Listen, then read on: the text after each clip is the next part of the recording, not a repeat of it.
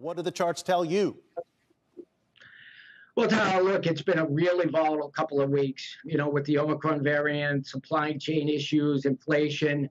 Um, and even for pros, you know, the back and forth whipsaw price action is difficult. So now's the time you really got to take a step back and focus on the longer term trends because they're much more stable and they give you a much better idea what the overall health of the market is.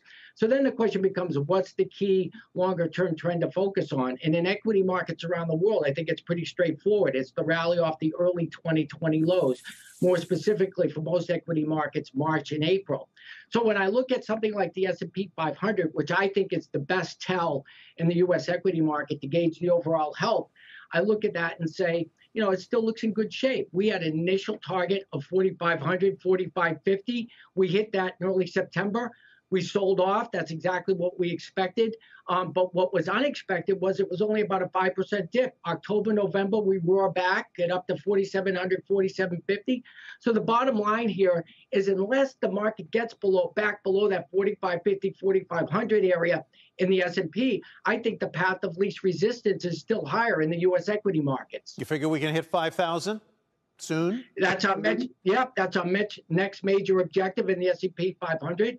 Um, I think the NASDAQ 100, NASDAQ comps still look overall good. And the NASDAQ 100, you know, the, the key longer term support comes in at 15.2, 15.3.